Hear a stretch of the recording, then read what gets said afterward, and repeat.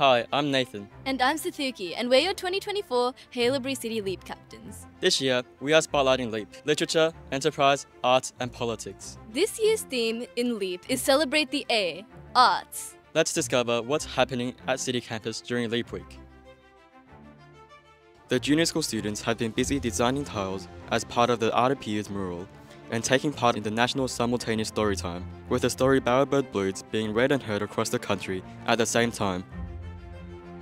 Meanwhile, in middle school, we have been creating puzzle pieces for an art installation called Piecing It Together, which links the boys' middle school and their 2024 theme of Strength of Character with the girls' middle school theme of You are the author of your own story.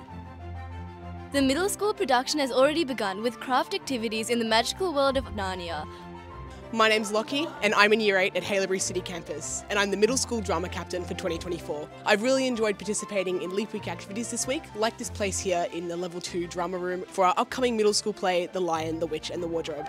We've been making waterless snow globes, making masks and a whole lot of other activities. It's been a wonderful opportunity to showcase the arts this week as part of 2024 Leap Week. Our students embraced their creativity and enjoyed all the activities that were available during this week.